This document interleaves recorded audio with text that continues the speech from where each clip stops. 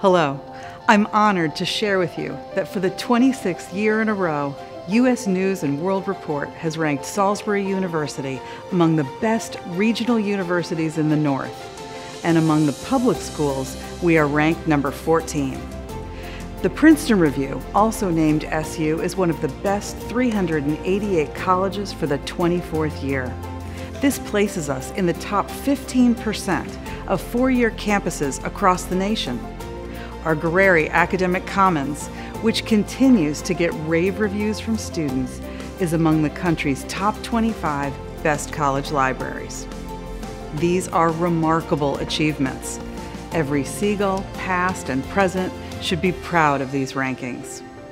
These achievements and further notable rankings from Forbes, Money, and other publications validate what we already know.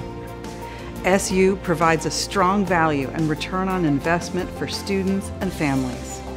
Our faculty provide incredible opportunities for students to turn their dreams into reality. SU is a place where you can find inspiration to make tomorrow yours. I'm so proud to have joined you as a Seagull.